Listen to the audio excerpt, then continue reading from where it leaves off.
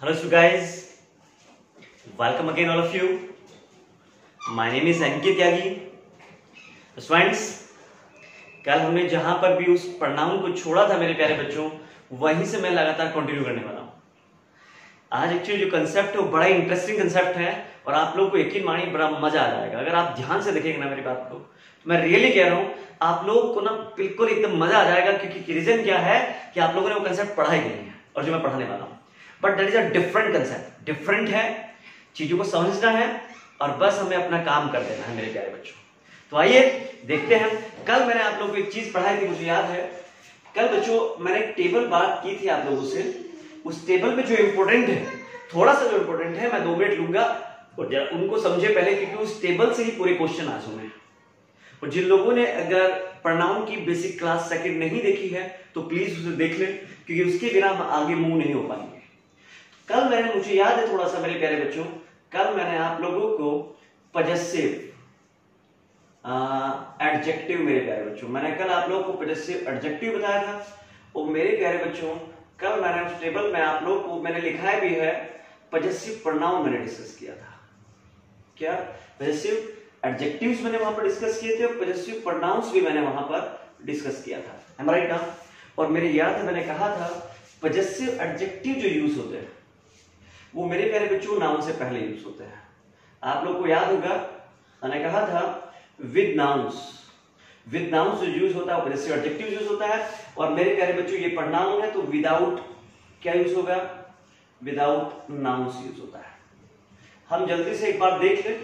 देख क्यों लें? क्योंकि ये बहुत इंपॉर्टेंट कंसेप्ट है। मैंने कहा था, मुझे याद है कि हिज एडजेक्टिव भी है और हिज पजेसिव प्रनाउन भी है मेरे वहाँ पर मैंने लिखा था हर। और याद होगा आपको टेबल को आप अगर दोबारा देखें तो मैंने पजेसिव प्रनाउन में हर्ष लिखाया था। और मेरे प्यारे बच्चों, वहाँ पर मैंने बताया था, मुझे याद है दियर और यहाँ पर, वहाँ पर मैंने लिखा था, आपको याद है, उस टेबल को देखिए, दियर्स। वहाँ पर मैंने इट को पजेसिव प्रनाउन बोला था, और मैंने कहा था सॉरी इट्स को पजेसिव एडजेक्टिव इट्स को क्या पजेसिव एडजेक्टिव और मैंने कहा था, इट्स का कोई भी पजेसिव प्रोनाउंस नहीं होता। यहाँ पर भी मैं उसी बात को रिपीट कर रहा हूँ। क्यों रिपीट कर रहा हूँ? उसका रीजन ये है मेरे प्यारे बच्चों, कि आप लोग को थोड़ा सा वो याद आ जाए। और वहाँ पर आप चेक कर सकते हैं, मैंने लिखा था माई और मेरे प्यारे बच्चों, यहाँ पर क्या लिख रहा हूँ माई वहाँ पर लिखा है योर अगर आप देखें वाई ओ यू आर और मेरे प्यारे बच्चों, यहाँ पर लिख रहा हूँ मैं योर्स मेरी कुछ बात समझ में आ रही है। वहाँ पर मैंने लिखा था, मुझे याद है अपोस्ट्रोफे वंस के साथ। और यहाँ पर मेरे प्यारे बच्चों में लिखा वंस और एक वर्ड और था वहाँ पर अगर आप ध्यान से देखें ओ यू आर आर और मेरे प्यारे बच्चों, यहाँ पर मैं लिख रहा हूँ आर्स आप देख लीजिए, मैंने सारे ये possessive adjective possessive pronoun table में सारे डिस्कस किए हुए हैं। जो क्लास टू है प्रोनाउन का जो बेसिक क्लास टू है, उसमें पूरा टेबल मैंने बताया था, मैंने और कुछ भी चीज़ें बताई थी। और कल मेरी और आपकी बात हुई थी, प्यारे बच्चों, कि पजेसिव एडजेक्टिव नाउन के साथ आता है मतलब नाउन से पहले आता है। और पजेसिव प्रोनाउन विदाउट नाउन आता है बिकॉज़ ये प्रोनाउंस है, और प्रोनाउंस नाउन का रिप्लेसमेंट होता है, वो नाउन से पहले कभी नहीं आ सकता। ये मैंने कल भी आप लोगों को बताया था। एक्चुअली मुझे इनके बारे में बताना गया है? देखिए, यहाँ पर लिखा है his and there is also his मैं हिज को पजेसिव एडजेक्टिव भी बोल रहा हूँ, और हिज को बच्चे I am saying that possessive pronoun लेकिन हर पजेसिव एडजेक्टिव है। मतलब क्या है? इनके बाद नाउन आना चाहिए। यस और नो मुझे बताइए। लेकिन ये है पजेसिव प्रोनाउंस। क्या इनके बाद नाउन आएगा क्या? बच्चे, इनके बाद अगर आपने नाउन लगाया तो उसका कोई मतलब ही नहीं होगा। Because pronoun always use without nouns तो लेट अस सी चीज़ों को समझते हैं और सेट करते हैं। मेरे पास एक सेंटेंस है मेरे प्यारे बच्चों। मैंने कहा, देखिए, इसको आप यहाँ पर समझे, पजेसिव एडजेक्टिव और पजेसिव प्रोनाउन में डिफरेंस क्या है। स्टूडेंट्स मैं कह रहा हूँ, देखिए सेंटेंस बिल्कुल क्लियर सा है। दिस इज़ क्या? दिस इज़ माई बैक मैंने कहा this is my bag and that is and that is his bag देखिए मैं क्या बोलना चाह रहा हूँ। Sentence is that I am saying that this is my bag यह बैग मेरा है, और दैट वह जो है वो किसका है? That is his bag let us see that is your pen sentence देखिए क्या है that is your pen and this sorry this is your pen and that is his copy देखिए सेंटेंस क्या लिखा है? अगर आप चीज़ों को समझ पा रहे हैं तो मेरी बात यहाँ से एकदम क्लियर होगी। लेट अस सी कुछ एग्जांपल्स और देखते हैं।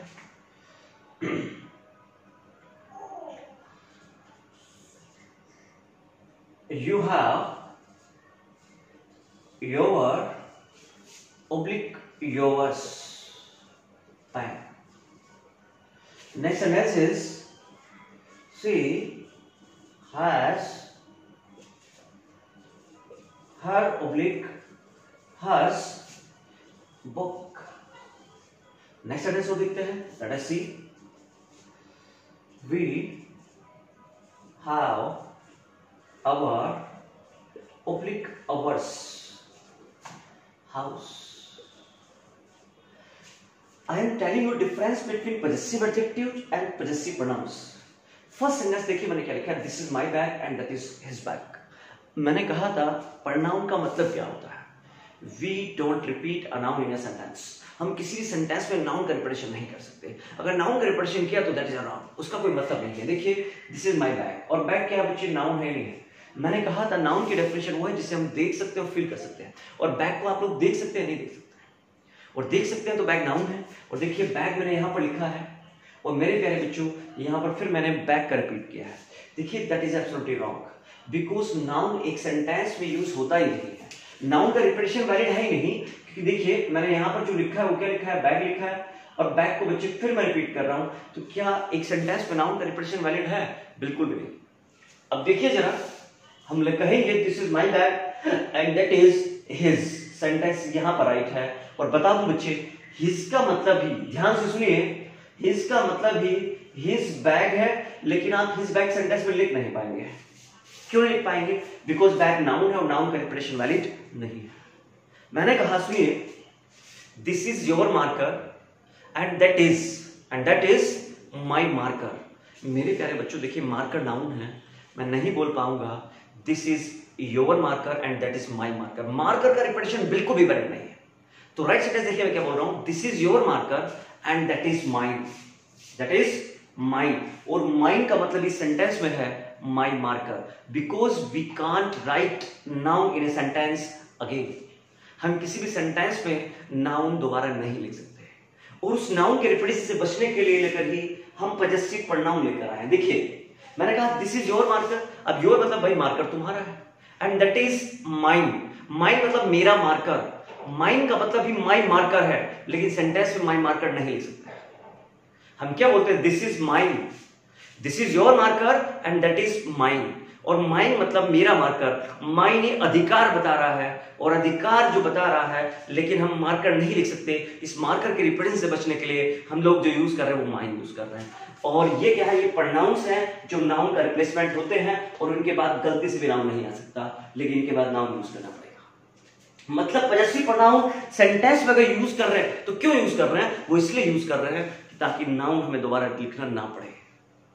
क्या मेरी बात समझ पाए है? नहीं समझ पाए देखिए नेक्स्ट सेंटेंस मैंने क्या कहा है? This is your pen and and that is his copy मुझे बताइए, यहाँ पर पैन नाउन है और कॉपी भी नाउन है, लेकिन क्या एक बात बताइए, मुझे पैन और कॉपी दोनों डिफरेंट नाउन है, क्या नाउन का रिप्रेजेंटेशन हो रहा है? अब इस सेंटेंस को आप नहीं बोल सकते this is your pen and that is his अगर आपने हिज बोला तो फिर वो पैन को ही रिपीट करेगा, लेकिन हमने क्या कहा, ये तुम्हारा पेन है और भाई कॉपी जो है वो मेरी है। अब पेन एक अलग चीज़ है पेन क्या है? एक अलग चीज़ है और copy that is a different noun तो आपको यूज़ करना पड़ेगा this is your pen and that is his copy अगर यूज़ नहीं किया तो दैट इज़ रॉन्ग क्या बच्चे समझ पाए हैं यहाँ नाउन का रिपीटेशन नहीं है। तो आप नहीं कह सकते this is your pen and that is his ये बोला तो पेन की बात करेगा फिर, क्या मेरी बात क्लियर हुई है नहीं क्लियर हुई? यस और नो मेरे बच्चों? नेक्स्ट सेंटेंस है मेरे पास you have your oblique your pen अब देखिए पेन है और पेन से पहले, पेन से पहले क्या पजस्वी प्रोनाउन आ सकते हैं? बिल्कुल नहीं, क्योंकि इनके बाद तो नाउन आना ही नहीं ना। तो क्या यूज़ करेंगे? This I have sorry you have your pen और ये पजस्वी एडजेक्टिव है जो नाउन पर अधिकार बता रहा है। किस पर बता रहा है? पेन पर बता रहा है। नेक्स्ट मैंने कहा सी एज अब बुक देखिए बच्चों क्या है? बुक पर बताना है बुक किसकी है? क्या बोलेंगे? सी हैज़ बोलिए। हम बोलेंगे सी हैज़ हर अगर हर्ष लगाया दैट विल बी रॉन्ग क्या मेरी बात क्लियर हुई नहीं क्लियर हुई है? वी हैव क्या होगा अवर अवर्स का कोई मतलब ही नहीं है। क्योंकि हाउस नाउन है और नाउन पर जो अधिकार बताता है, वो क्या होता है? वो पजेसिव एडजेक्टिव होता है। क्या मेरी बात क्लियर है? अगर मैंने कहा this is this is your house and that is their house अगर आपने बोला दैट इज़ दियर्स हाउस इसका कोई मतलब ही नहीं है। क्या कहा है? दिस इज़ योर हाउस भाई, ये तुम्हारा घर है। एंड दैट इज़ वो उनका घर है। उनका मतलब that is their house that is their house अगर आपने बोला दैट इज़ दियर्स हाउस क्योंकि हाउस नाउन है दैट इज़ अ रोंग और ये भी रोंग है। देखिए क्या बोल रहा हूँ मैं। This is your house and that is their house that is a wrong क्योंकि द हाउस पहले से ऑलरेडी है। और हाउस का रिपीटेशन नाउन नाउन है, और नाउन का रिपीटेशन हम लोग नहीं कर सकते। क्या बोलेंगे? This is your house and that is theirs क्या बोलेंगे? दियर्स दियर्स हाउस भी नहीं बोलेंगे और दियर हाउस भी नहीं बोलेंगे, क्योंकि हाउस पहले से सेंटेंस में है और नाउन का रिपीटेशन वैलिड नहीं है। अक्सर हम लोग कहते हैं this is mine this is yours this is hers क्योंकि वहाँ पहले से नाउन में दिखा रहता है, हमें पता है किसकी बात कर रहे हैं। तो इसलिए हम लोग हर्स योर्स दियर्स अवर्स का यूज़ करते हैं। हमने कहा that is ours that is ours अब बच्चे वहाँ जो कुछ भी होगा, वो दिख रहा है ना नाउन तो हम लोग ये नहीं बोलते दैट इज़ अवर्स पैन या दैट इज़ अवर्स मोबाइल क्योंकि मोबाइल हम लोग देख रहे हैं तो हम कहते हैं दैट इज़ अवर्स वह जो है, वो जो है वो मेरा, हमारा है। क्या बात क्लियर हुई है? अब जो नेक्स्ट पॉइंट बताने वाला वो बड़ा इंपॉर्टेंट है। स्टूडेंट्स अब नेक्स्ट मैंने कहा था, अब आपको डिफरेंट मिलने वाला है तो डिफरेंट मिलने वाला है। ये तो सब लोग जानते हो मुझे पता है। और आई नो वेरी वेल कि आप लोगों ने इनको यूज़ भी किया है लेकिन अब जो बताने वाला हूँ, बस उसको अच्छे से समझना है और अपने माइंड में सेट कर लेना है। अच्छे से क्यों समझना है? कि मेरे प्यारे बच्चों, वहीं से एसएससी में क्वेश्चन आ रहा है। अब देखिए, मैं जो सेंटेंस बोलूँगा, आप कुछ और समझने वाले हैं। मैं कुछ और बोलने वाला हूँ और आप डेफिनेटली मैं जो बोलूँगा, वो कुछ और समझने वाले हैं। क्यों समझने वाले हैं? लेट सी देखते हैं जरा। देखिए स्टूडेंट्स मेरे पास एक सेंटेंस है सिंपल सा सेंटेंस मैं कह रहा हूँ। Sentence is that your oblique yours देखिए सेंटेंस पे क्या बोल रहा हूँ योर ऑब्लिक योर्स क्या मेरे प्यारे बच्चों? Your oblique yours is a nice pad देखिए सेंटेंस क्या बोल your oblique yours is a nice pad मैंने कहा your oblique yours is a nice pad अब क्वेश्चन ये है कि योर लगाएँगे ये योस लगाएँगे। नेक्स्ट सेंटेंस है मेरे पास। योर अब यही चीज़ें हैं बच्चे जो आप लोग को समझना है और क्वेश्चन को सॉर्ट आउट कर देना है। देखिए क्या बोलता हूँ। Your oblique yours pan is nice. And next sentence is that you have a nice pan. You have a nice pan. प्यारे बच्चों, देखिए पहला सेंटेंस यहाँ योवर बिल्कुल नहीं आएगा, क्योंकि देखिए your one's our its their her his ये पजेसिव एडजेक्टिव इनके बाद क्या आना चाहिए? नाउन चाहिए। लेकिन क्या यहाँ पर नाउन है क्या? अगर आपने बोला your is a nice man तो उसका कोई मतलब नहीं है। राइट सेंटेंस होगा yours is a nice man और देखिए his hers theirs mine yours one's बच्चे, ये पजेसिव प्रनाउन है। और किसी भी सेंटेंस का सब्जेक्ट या ऑब्जेक्ट मैंने बताया था, वो नाउन होता है, या प्रनाउन होता है, या नाउन के इक्विलेंट होता है। Yours is a nice pen और यहाँ पर एकदम राइट सेंटेंस है। इसका मतलब तुम्हारा अच्छा पेन है। तुम्हारा एक अच्छा पेन है, देखिए इसका मतलब क्या है? योर्स तुम्हारा जो है yours is a nice pen तुम्हारा एक अच्छा पेन है। लेकिन योर मत बोल दीजिएगा। अब यहाँ पर देखिए मैं क्या बोलूँगा? Your pen is nice pen क्या है? नाउन है।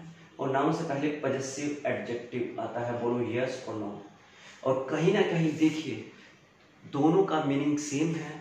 Yours is a nice pen या फिर योर पैन इज़ नाइस देखिए, दोनों में पैन ही अच्छा है ना, लेकिन योर पजेसिव एडजेक्टिव है और उसके बाद नाउन आता है।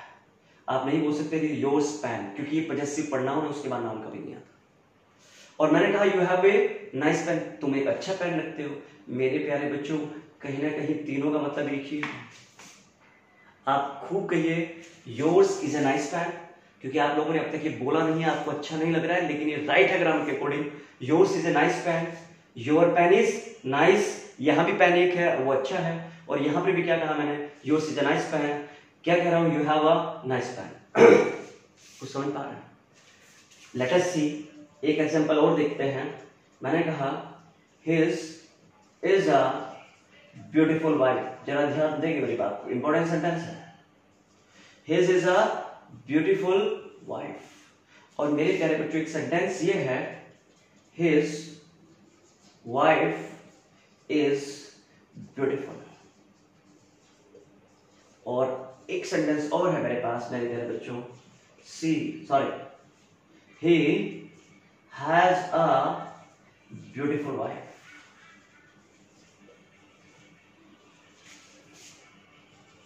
जरा चीज़ों को समझिए। यहाँ पर हिज के बाद नाउन है क्या? आपको सेंटेंस स्ट्रोंग लगना चाहिए कि his is a beautiful wife sir कभी पढ़ाई नहीं? लेकिन देखिए हिज पजेसिव एडजेक्टिव है और हिज पजेसिव प्रनाउन भी है। और मैंने लास्ट वीडियो में बताया था, अगर हिज के बाद नाउन नहीं है तो क्या होगा? पजेसिव प्रनाउन होगा। और हिज के बाद अगर नाउन है विद नाउन के साथ ही जा रहा है तो वो पजेसिव एडजेक्टिव होगा। अब मुझे एक बात बताइए, मैंने कहा his is a beautiful wife इसका मतलब जानते हो क्या है? उसकी एक सुंदर वाइफ है। लेकिन हिज को यहाँ पर बोलेंगे पजेसिव प्रनाउन पी पी बोल रहा हूँ मैं। पजेसिव प्रनाउन क्योंकि हिज के बाद नाउन नहीं है। और मैंने कहा था कि हिज भी विदाउट नाउन यूज़ होता है। याद करिए मेरी बात को। आई टोल्ड यू यस्टरडे कि हिज भी विदाउट नाउन यूज़ होता है। और जब वो हिज विदाउट नाउन यूज़ होगा तो पजेसिव प्रनाउन होगा। और हिज के बाद अगर नाउन होगा तो पजेसिव एडजेक्टिव होगा। बोलो हाँ है ना? His is a beautiful wife आपको बोलने में थोड़ा सा गड़बड़ लग रहा है। पर मेरे प्यारे बच्चों, एकदम राइट सेंटेंस है। उसकी एक सुंदर वाइफ है और यहाँ पर देखिए हिज के बाद वाइफ आ रहा है। और वाइफ क्या है? नाउन है।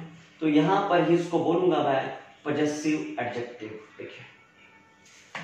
हिज के बाद नाउन है तो पजेसिव एडजेक्टिव है। हिज के बाद नाउन नहीं है तो पजेसिव प्रनाउन है। और इसका मतलब देखिए क्या क्या है? उसकी वाइफ सुंदर है।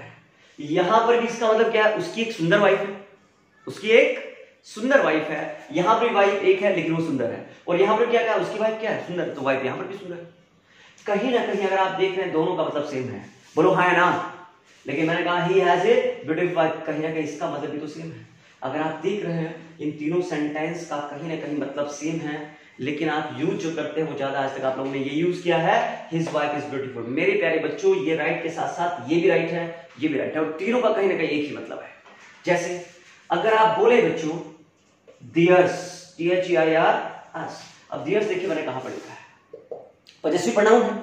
और हम बोलेंगे, theirs is a nice house ये सेंटेंस एकदम राइट है।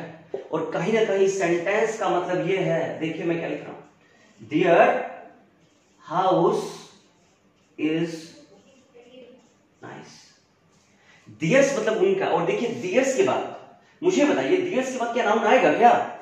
Theirs is a nice house उनका एक अच्छा घर है, और दियर हाउस इज़ नाइस उनका घर अच्छा है। दियर पजेसिव एडजेक्टिव है, उसके बाद नाउन आएगा। दियर्स पजेसिव प्रनाउन है, इसके बाद नाउन नहीं आएगा। मेरी बात को दोबारा सुनिए ध्यान से। इनको आप किसी भी सेंटेंस का सब्जेक्ट ऑब्जेक्ट खूब बना सकते हैं। लेकिन इनके बाद नाउन नहीं होना चाहिए। क्या नहीं होना चाहिए? नाउन नहीं होना चाहिए। अगर इनके बाद नाउन हुआ तो बच्चे बहुत गड़बड़ हो जाएगा। क्या मेरी बात क्लियर है नहीं क्लियर है? विदाउट नाउन यूज़ करिए सब्जेक्ट बनाइए ऑब्जेक्ट यूज़ करिए, बस नाउन नहीं होना चाहिए। पजेसिव एडजेक्टिव में पजेसिव प्रनाउन में डिफरेंस क्लियर हुआ होगा। मैंने कहा this is my pen this is my pen and that is your pen that is a wrong क्योंकि पैन नाउन है नाउन का रिप्रेशन वैलिड नहीं है। This is my pen and that is yours क्या मेरी बात क्लियर है? क्योंकि योर्स से लिखेंगे और yours that is a possessive noun और योर्स के बाद नाउन नहीं आएगा। क्या मेरी बात क्लियर है नहीं क्लियर है? दो मिनट और लूँगा मेरे प्यारे बच्चे, दो मिनट में दो एग्ज़ाम्पल और समझेंगे ताकि आज के बाद आपको कभी प्रॉब्लम ना हो। मैंने कहा अवर्स क्या? आर्स जिसे आप आर्स बोलते हैं ours is a nice country अब देखिए, आर्स के बाद क्या मैंने नाम यूज़ किया है? Ours is a nice country. लेकिन ये नहीं बोल सकते थे, our our is a nice country. क्योंकि आर पॉजिटिव, एडजेक्टिव है इसके बाद नाउन चाहिए। क्या चाहिए नाउन? या तो ये बोले, ours is a nice country, या फिर बोले, आर कंट्री इज़ नाइस। अब देखो, आर के बाद नाउन आ रहा है। वो क्या है कंट्री है? ये सर नो एक छोटा सा ट्रिक समझते हैं, और फिर मैं चीज़ों को एंड करने जा रहा हूँ। मेरे प्यारे बच्चों, अगर मेरी बात समझ में आती है तो प्लीज़ कमेंट ज़रूर करके बताया करें कि चीज़ें लिखा करें। यस चीज़ें मन में बैठ रही है तो प्लीज़ वीडियो के नीचे कमेंट किया करें और लिखा करें, सब कुछ हो रहा है। सब कुछ ओके चल रहा है। देखो, जब तक आप नहीं लिखेंगे, मुझे कैसे पता होगा कि आपको मेरी बात समझ में आई समझ तो जितने भी लोग वीडियोस देख रहे हैं तो प्लीज़ लिखा करें। यस आइए जरा आप लोग को भी बताना है। तो एग्ज़ाम्पल हम लोग देखते हैं, बिल्कुल इजी सा एग्ज़ाम्पल है। मेरे पास सेंटेंस है her wife sorry her wife तो हम बोल ही सकते हैं हस्बैंड क्योंकि अब लेकिन आप कुछ भी बोल सकते हैं क्योंकि आपका जो क्या है आ, इंडिया के अंदर भी आप लोग जानते हैं मेल मेल से शादी कर सकता है और फीमेल फीमेल से. तो पता ही नहीं कौन वाइफ है कौन हस्बैंड है. हर वाइफ है या हर हस्बैंड है वी डोंट नो अब तो बोल सकते हैं लेकिन ग्रामर में यूज़ नहीं करना. ठीक है? वो अच्छा नहीं माना जाता। तो देखिए मैं क्या बोल रहा हूँ मेरे प्यारे बच्चों। हर हस्बैंड क्या? हर हस्बैंड क्या? अब तो आजकल तो बोल सकते हैं आप हर वाइफ अब भाई वाइफ कौन है? वो वाइफ है हस्बैंड है, क्योंकि हर ने हर से शादी की हुई है। हर हस्बैंड इज़ स्मार्ट देखिए मैंने क्या बोला है। और एक सेंटेंस है मेरे प्यारे बच्चों। हर्स क्या? Hers is a smart husband मेरे प्यारे बच्चों, अगर सन में आ जाएगा तो प्लीज़ लिखें हाँ। Next sentence she has a smart husband she has a smart husband next sentence है मेरे पास। जरा ध्यान से सुनिए। हर्स हस्बैंड क्या? हर्स हस्बैंड अब आपको ही बताना है मेरे प्यारे बच्चों कि इनमें कौन सा सेंटेंस राइट है, कौन सा रॉन्ग है। हस्बैंड इज़ अ नाउन और नाउन से पहले जो आता है वो पॉजेसिव एडजेक्टिव आता है। हम जानते हैं पीए और हर पॉजेसिव एडजेक्टिव है और हर पॉजेसिव प्रोनाउन है। यस और no her husband is smart उसका जो हस्बैंड है वो स्मार्ट है, कोई डाउट है ही नहीं। क्योंकि हर पॉजेसिव एडजेक्टिव एडजेक्टिव के बाद हम लोग क्या लगाते हैं? नाउन हर पॉजेसिव प्रोनाउन है। क्या है? पॉजेसिव प्रोनाउन है यार। क्या इसके बाद नाउन आएगा? क्या हस्बैंड लिख पाएँगे यहाँ पर? अगर आप यहाँ पर हस्बैंड लगाए that is a wrong hers is a smart husband is equal to her husband is smart उसका जो हस्बैंड है, वो स्मार्ट है, और मतलब क्या है? उसका हर्ष मतलब उसका एक स्मार्ट हस्बैंड है। तो देखिए हर्ष के बाद हस्बैंड नहीं आ रहा है। हस्बैंड किसके बाद आ रहा है? स्मार्ट के बाद आ रहा है। हर हस्बैंड स्मार्ट आप बोले hers is a smart husband both are right and both have same या फिर आप बोले she has a smart spine तीनों का कहीं ना कहीं एक ही मतलब है या नहीं है, मुझे बताइए। लेकिन मैंने कहा हर्ष हस्बैंड हस्बैंड नाउन है, और नाउन से पहले क्या कभी पजस्वी प्रनाउन आ सकता है? कभी भी नहीं। यहाँ पर हर्ष नहीं आएगा। राइट आप लोग समझ गए होंगे। क्या होगा? हर हस्बैंड इज़ स्मार्ट मेरे प्यारे बच्चों योर्स दियर्स अवर्स माइंड अगर आपने कहा mind is a pen mind is a pen और माइंड जो है, वो पजस्वी प्रनाउन है। दैट इज़ राइट लेकिन आप ये नहीं बोल सकते थे my is a pen mine मतलब मेरा, और mine is a nice pen या mine is a black pen मेरा जो पैन है, वो एक ब्लैक है। मतलब मेरा जो पेन है, वो एक ब्लैक पेन है। तो क्या बोलूँगा? Mine is a nice pen लेकिन माइंड के बाद अगर पेन लगाए तो गड़बड़ हो जाएगा। माइंड के बाद क्या लगा रहा हूँ मैं? इस लगा रहा हूँ। या तो आप बोले my is a nice pen, या आप बोले माई पेन इज़ नाइस। क्या मेरी बात क्लियर हुई है? आई होप सो सब लोग को मेरी बातें क्लियर हुई होगी। दियर्स योर्स को सबको पजेसिव प्रनाउन है सब्जेक्ट बनाए ऑब्जेक्ट बनाए, लेकिन के बाद नाउन नहीं होना चाहिए। और पजेसिव ऑब्जेक्ट तो नाउन डेफिनेटली लगा और पॉजिटिव प्रनाउन हम क्यों यूज़ करते हैं? ताकि आगे नाउन का रिपीटेशन ना हो। ओके मेरे प्यारे बच्चों thank you thank you very much thank you to all